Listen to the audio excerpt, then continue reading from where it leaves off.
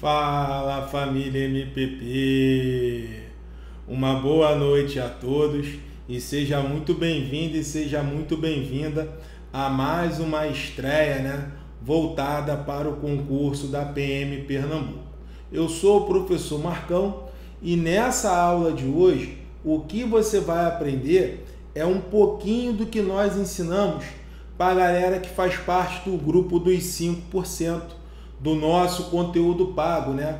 Em outras palavras, a galera que adquiriu, que fez o investimento no nosso curso específico.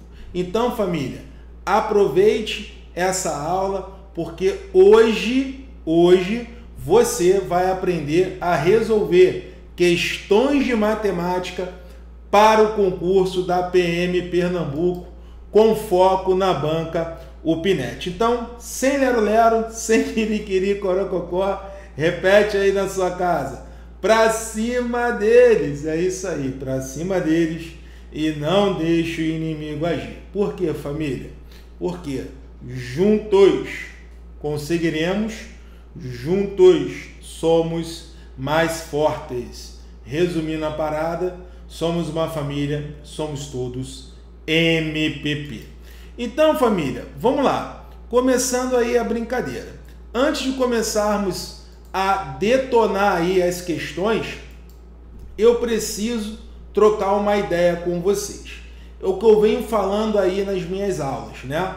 Você precisa muito mais que um curso. Você precisa de um método. Curso tem vários por aí, mas método você só vai encontrar aqui no Matemática para passar no nosso curso específico da PM Pernambuco. E o método MPP, o método que vai te aprovar, ele tem como base três técnicas. A primeira delas, coloca aí no bate-papo, qual é a primeira técnica do método MPP? Vamos lá, quero ver se você sabe. A primeira técnica do método MPP, família, é o método 250.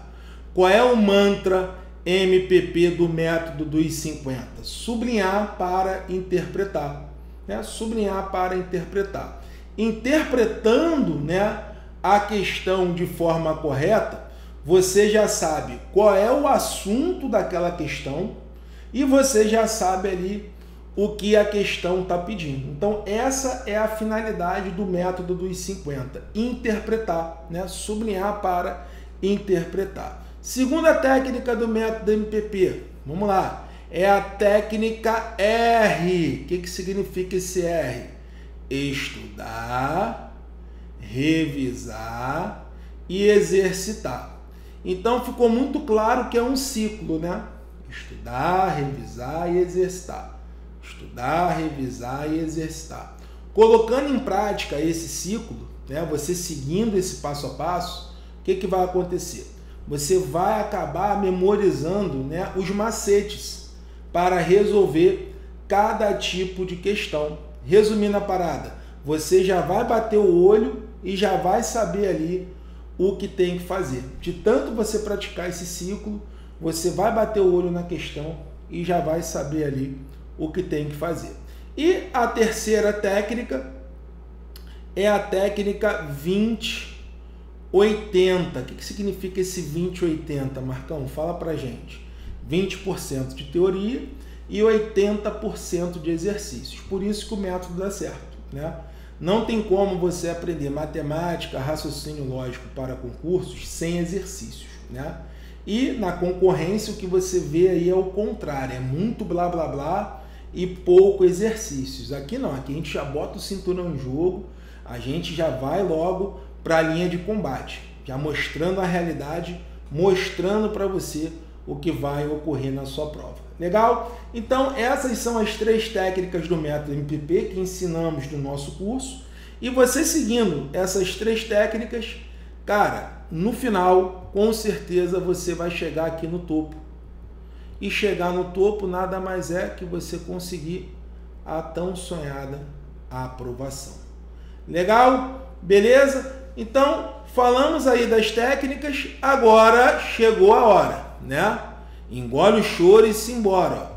Aplicando e aprendendo com o método MPP. Então agora vamos né, resolver algumas questões de prova da banca e a UP, UPNET. Então começando aqui com PA, progressão aritmética, né? A UPNET, né, ela adora esse tipo, né, de questão, questão envolvendo aí o assunto PA. Então, vamos lá. Começando aqui a brincadeira. Tá aí a questãozinha. Então, primeira coisa que a gente vai fazer na questão é aplicar a primeira técnica do método MPP, né? Sublinhar para interpretar, que nada mais é que o método dos 50. Então, primeira coisa, método dos 50 neles, ó, sublinhar para interpretar. Então, vamos lá, começando a brincadeira. Seja uma sequência de números naturais. Se n é o número de termos dessa sequência, é correto afirmar que n é igual a. Então vamos lá, primeira coisa, sublinhar para interpretar. Então, aplicando o método dos 50, eu já sei que essa sequência de números naturais é uma PA. Como é que eu sei que é uma PA? Porque a partir do segundo, cada termo é o anterior somado por uma constante. Ó. Vê se não acontece isso. Ó. Quem é o 93? É o 92 mais 1. Ó, é o anterior mais uma constante. Ó. Quem é o 94? Ó? É o 93 mais 1. Quem é o 95? É o 93 mais 1. Então, essa sequência numérica ela é uma PA. Então eu já identifiquei, eu já sei que é um probleminha sobre PA. Beleza. Agora, o que, que ele está querendo? Ele está querendo o valor do N. E o N nada mais é que o número de termos da sequência, ou seja, a quantidade de termos. Aí entra a segunda técnica. De tanto você estudar, revisar e exercitar, você já memorizou o macete para encontrar a quantidade de termos de uma PA. Para encontrar a quantidade de termos de uma PA, é só você aplicar essa formulazinha aqui, ó, quantidade de termos, ó, que nada mais é que o n que ele está falando. É igual ó, ao último menos o primeiro sobre a razão mais um. Então, quer saber a quantidade de termos? O último menos o primeiro sobre a razão mais um. Acabou. Ah, Marcão, por quê? Porque Deus quis, cara. E Ele quer o seu bem. Prova é tempo. Então, bateu o olho, quantidade de termos da PA. O último menos o primeiro sobre a razão mais um. Quem é a razão, Marcão? a razão é a constante. Nesse caso aqui, a razão seria igual a 1. Né? A razão dessa PA aqui, ó, o R, seria igual a 1. Acabou. Então, N vai ser igual a quantidade de termos. O último, qual é o último? 312, olha como é fácil. Menos o primeiro, 92, dividido pela razão, que é 1, mais 1. Acabou. Lindos! Acabou, né? 312 menos 92 vai dar 220. Dividido por 1 mais 1. 220 dividido por 1 vai dar 220.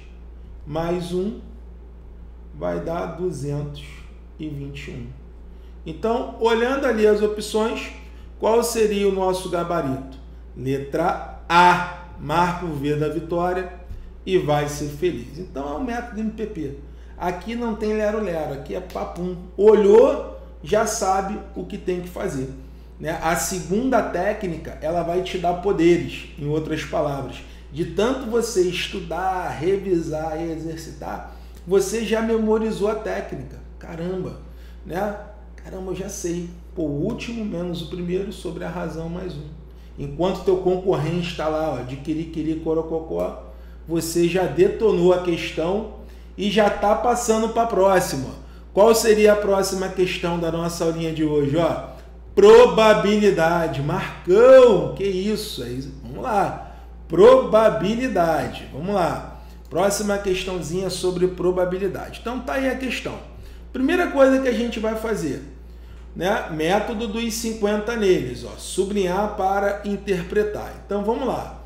Em um treinamento com 80 alunos, 45 são destros, 27 são canhotos e 8 são ambidestros.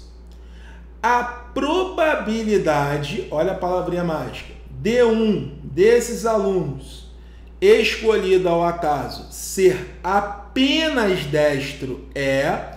Então vamos lá. Olha a importância do método dos 50. Sublinhar para interpretar.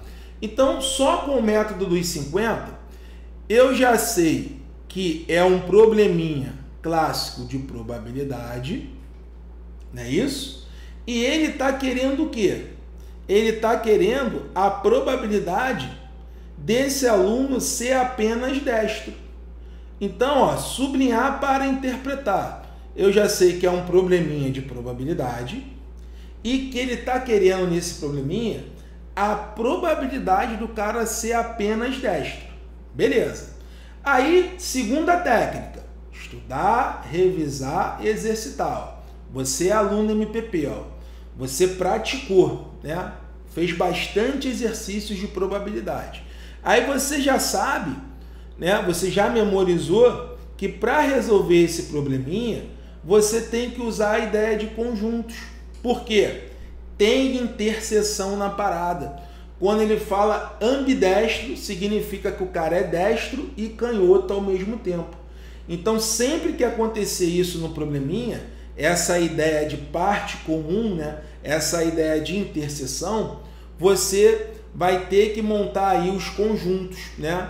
os diagramas. A ideia é essa, você vai ter que montar né, um desenho, né? você vai ter que montar um desenho aí para você não somar a mesma coisa né, duas vezes. Né? Para você não cometer esse erro, você vai ter que montar né, o esqueminha, você vai ter que montar ali os conjuntos. Então, montando aqui os conjuntos, eu tenho a galera que é destro e eu tenho a galera que é canhoto. Não é isso? Tenho destro. Eu tenho destro. E tem aqui o canhoto. E Consequentemente, eu tenho a galera que é destro e canhoto, que seria o ambidestro. Ó, que seria o ambidestro. Então, vamos lá. Por onde eu começo esse tipo de problema? Eu começo sempre pela parte comum. Então, aqui no meio, só pode ser quanto? Oito. Porque ele falou que oito pessoas, né, são o quê? Ambidestros. Então, a gente começa por ali. Aí, vamos lá. Voltando aqui no problema, ele fala que 27 são canhotos. Então é tudo no desenho. Ó, 27 é isso tudo aqui, ó. Só que já tem oito pessoas ali dentro. Então, quantas pessoas seriam apenas, somente canhoto? Aí você vai ter que diminuir. Vai ser 27 menos 8. Quanto é que dá 27 menos 8? Vai dar 19. Aí vamos lá, 45 são destros. Ó, tá aqui o conjunto. É isso tudo aqui, ó. 45 é isso tudo aqui. Só que já tem oito alunos ali dentro. Então, quantas pessoas são apenas destro? Somente destro. Que é esse espaço aqui em branco. Aí eu vou ter que diminuir. Vai ser 45. Ó, 45 menos 8. Quanto é que dá 45 menos 8? 37. Agora que eu montei o diagrama, né, que eu completei aqui o desenho, eu já posso responder a questão. Por quê? Probabilidade, método MPP, ó, probabilidade é o que eu quero sobre o total. O que eu quero está vinculado à pergunta. Então vamos lá, o que, que eu quero? Eu quero apenas destro. Quantas pessoas são apenas destro? Está aqui, ó. 37. Então eu quero 37 de quantos? Né? Do total. 37 de quantos? 37 do total, 37 de 80. Então essa é a probabilidade de se ter apenas um destro. Aí entra a parte da matemática básica. Por quê? Vamos supor, você pensou, você montou ali o diagrama e chegou nesse resultado. Só que agora você não sabe desenvolver isso daí. Você não sabe passar essa fração para porcentagem. Como é que eu passo da fração para porcentagem? Basta pegar a fração e multiplicar por 100. Marcão, não acredito. É isso aí pega a fração e multiplica por 100. Aí eu vou passar o facão aqui, ó, pou, pou, organizando aqui a bagunça, ficaria o seguinte, ó, 370 dividido por 8.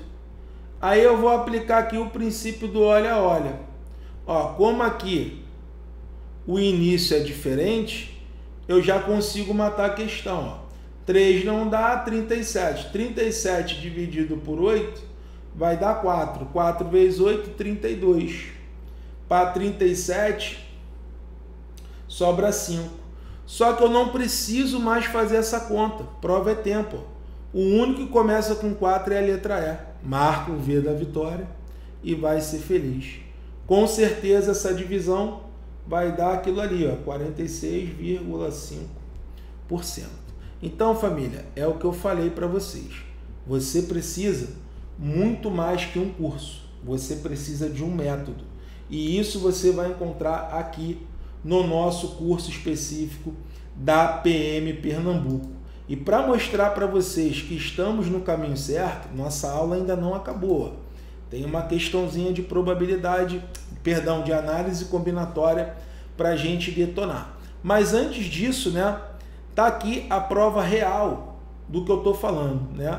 O matemática para passar né, se tornou uma referência na área de segurança pública. Olha o relato de um aluno né, que passou aí na prova da PM São Paulo. Se liga no depoimento. Vamos lá. Olá, professor Renato e Marcão. Sempre me escondi da matemática, até querer prestar o concurso da PM São Paulo. Dando uma zapiada no YouTube, é sempre assim, né? A galera encontra a gente sempre no YouTube. Achei o canal que mudou minha vida. Com apenas dois meses de estudo, passei na prova escrita da PM São Paulo. Estou aguardando os demais testes. Por este motivo, muito obrigado por ajudar a mim e tantas pessoas. O método MPP funciona. Para cima deles e não deixe o inimigo agir. Rubens Ferreira, aluno do grupo dos 5%. Então, é sempre assim. Né? O aluno conhece o nosso trabalho pelo YouTube, né? começa a pegar confiança, né? só que ele sente ali que falta algo mais. Né? As aulas do YouTube ajudam, mas falta algo mais. E esse algo mais você vai encontrar onde? No nosso curso específico. Está aqui, ó no nosso curso específico da PM Pernambuco. E esse curso está sensacional porque ele está com três bônus. É isso aí. Ele está com três bônus. Se fôssemos cobrar por tudo que nós oferecemos, tá? O valor do seu investimento hoje seria de 915 reais. Mas hoje, ó, sem rodeios, você está levando isso tudo pelo valor promocional de 12 de 23,59 ou 235 à vista, tá? Não parcelamos no boleto. No boleto é só o valor à vista. Então tá com valor mega ultra promocional e tá aí a oportunidade de você virar esse jogo. Quem está assistindo a estreia e tem interesse, tá? o Júnior, ele está colocando aí no bate-papo o link do curso e o nosso número do WhatsApp, tá? Para você entrar em contato, que é esse aqui, ó, 021 9702 99443. Aí você manda uma mensagem. Eu quero PM Pernambuco, tá? Só não cometa um erro de querer comprar o curso faltando uma semana ou duas semanas aí para acontecer a prova, né? Tem uma galera que consegue, né? Como o caso aí do nosso amigo aí do Rubens, né? Ele comprou o curso ali em duas semanas ele conseguiu desenrolar. Agora nem todo mundo tem essa capacidade. A ideia é que você comece o quanto antes a sua preparação, mesmo porque a prova da PM Pernambuco é uma provinha chata, né? Uma provinha de matemática muito chata. E você mais do que eu sabe disso. Né? Por causa da matemática, resumindo, você ainda não conseguiu realizar o seu sonho de vestir essa farda, né? De ser um policial militar aí de Pernambuco. Legal? Então, tá aí o recadinho. Agora é com você. Voltamos aí para a nossa aula. Vamos lá. Próxima questão. Análise combinatória. Vamos lá. Para cima deles, ó. Papum. Tá aí. Quantos pares distintos de letra são possíveis de serem construídos com as letras da palavra coragem? Então, ele quer formar pares, né? Ele quer formar grupos de dois, ele quer formar pares.